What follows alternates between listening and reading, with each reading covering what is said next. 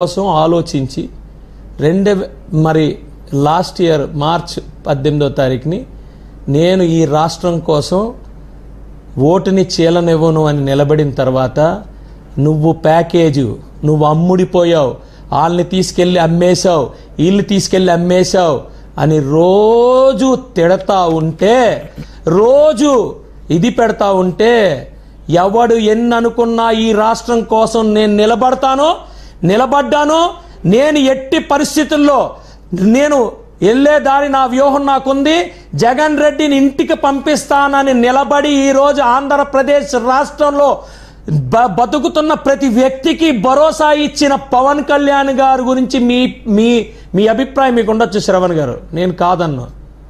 Sir అది ఎంత కష్టమో ఒకసారి ఆలోచించండి. నిలబడ్డాడు. మీరు ఇష్టం వచ్చినట్టు మీరు మీరు సూక్తులు చెప్పండి. మీరు మేమేం కాదనట్లా. Please please. ఒక వ్యక్తిని అభిప్రాయం చెప్పడమే గొప్ప. బయటకు ఒకటి లోపలకు ఒకటి మాట్లాడే ఈ రాజకీయ వ్యవస్థలో నేను మాట్లాడింది నేను చేస్తాను నేను నిలబడ్డాను ఈ రాజకీయం కోసం నిలబడ్డాను అన్న వాళ్ళని మీరు కామెంట్ చేస్తుంటే మీ విజ్ఞత ఈ రోజు వరకు మీ విజ్ఞత ఎక్కడికి వెళ్ళిందో మీ అభిప్రాయం మీకు ఉండొచ్చండి. తప్పేమీ లేదు. అండ్ నిన్న నాకు తెలిసినంత వరకు కొంతమంది వ్యక్తులు నన్ను అన్నారు ఇన్నాళ్ళ సభల్లో ది బెస్ట్ సభ ఈరోజు చూశానన్న దాన్ని కూడా మీరు చాలా తప్పుగా మీరు అసలు నాకు అక్కడ అసభ్యకరమైన మాటలు ఏం అక్కడ వచ్చాయో నాకైతే అర్థం కాల. మీకు ఆ పక్కనే వెంకటకృష్ణ గారు ఉన్నారు. వెంకటకృష్ణ గారు మీరు ఒక్కసారి ఆయన అడగండి. తెలుగులో చాలా ప్రావీణ్యం ఉంది ఆయనకి. ఆయన చాలా పెద్ద పెద్ద కవుల దగ్గర వాళ్ళ దగ్గర పరిచయాలు ఉన్నాయి.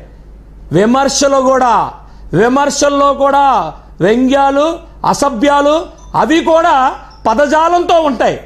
ఆ పదజాలంతో ఉన్నాయా? లేకపోతే దాన్ని దాటి వల్గారిటీలో ఉన్నాయా?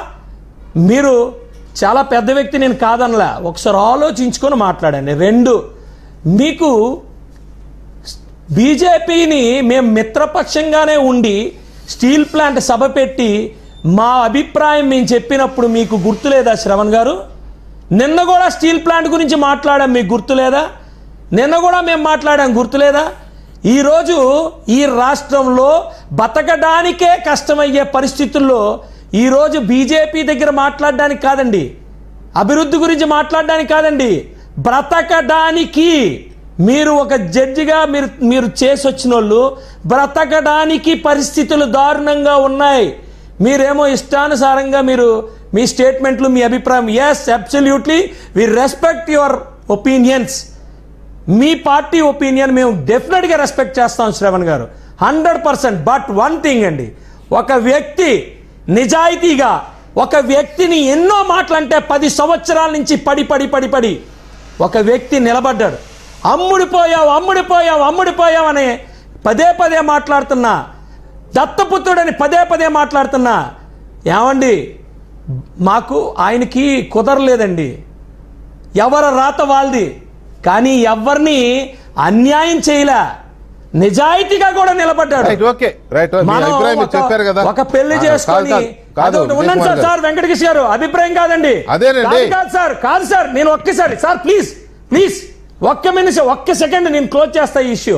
నేను అంటుంది దయచేసి మనకు అభిప్రాయాల కోసం టీవీల ముందుకు తెచ్చాం కదా అని చెప్పి మనం ఏదో పెద్ద జాబులు చేశాం కదా అని చెప్పి మనం ఒక పార్టీ పెట్టాము కదా అని చెప్పి మన ఇష్టానుసారంగా మన అభిప్రాయాలు చెబితే అభిప్రాయాలు చెప్పొచ్చు. కొన్నిసార్లు ప్రజల కోసం మన అభిప్రాయాలు తప్పయి ఉండొచ్చు కానీ మనది రైట్ అయి ఉండొచ్చు కానీ కొన్నిసార్లు మంచి కోసం కొంత సమన్వయం పాటించాలని మీలాంటి పెద్దలకు తెలియకపోతే I'm very sorry right right no no తప్పులేదు విజయ్ కుమార్ గారు. నేను ఇందాకే చెప్పా ఆయన అభిప్రాయం ఆయన చెప్పు ఉండొచ్చు కానీ నేను అంతకంటే ముందుకు చాలా క్లియర్గా చెప్పా. ఎక్కడ అరే ఉరే అనేది తప్ప వాళ్ళ స్థాయిలో కాకుండా ఘాటుగా విమర్శించాడని చెప్పి నేను ముందే చెప్పా.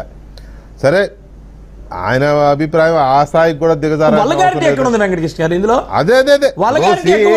అందరి. కాదు విజయ్ కుమార్ గారు అందరి పర్సెప్షన్ ఒకలా ఉండదు.